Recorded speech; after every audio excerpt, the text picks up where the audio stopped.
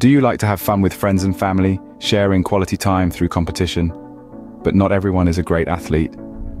Just in time, here are our top 10 competitive sports that can be enjoyed by non-athletic people of all ages.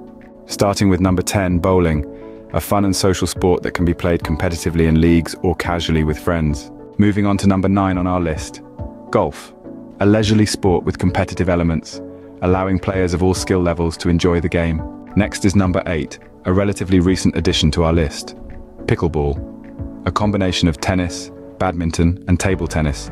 Pickleball is a fun and accessible sport for all ages. Here's one many people forget at number 7 Ultimate Frisbee, a fast-paced and inclusive team sport that can be played competitively or recreationally.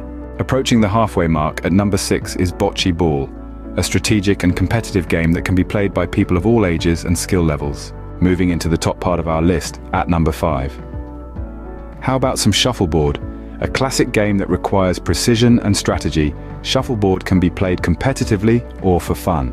Number 4 is definitely a blast for anyone and everyone. Cornhole, a popular tailgating game that has competitive leagues and tournaments for players of all ages. If you watched our lawn care top 10 list and have a lush green lawn as a result, then number 3 is for you. Croquet, a traditional lawn game that can be played competitively in tournaments or casually with friends and family. Number 2 is something we here at Just in Time bring out for every barbecue. We're talking about horseshoes, a simple yet competitive game that can be played in backyard competitions or organised leagues.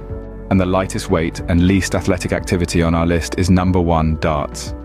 A competitive sport that requires skill and accuracy, darts can be played in friendly matches or in organised leagues. All of these sports offer competitive opportunities for non-athletic individuals of all ages to participate in friendly matches, leagues and backyard tournaments while enjoying the social aspect and competitive spirit of sports. Thank you for investing a few moments of your valuable time to check out this top 10 list. We hope you liked it.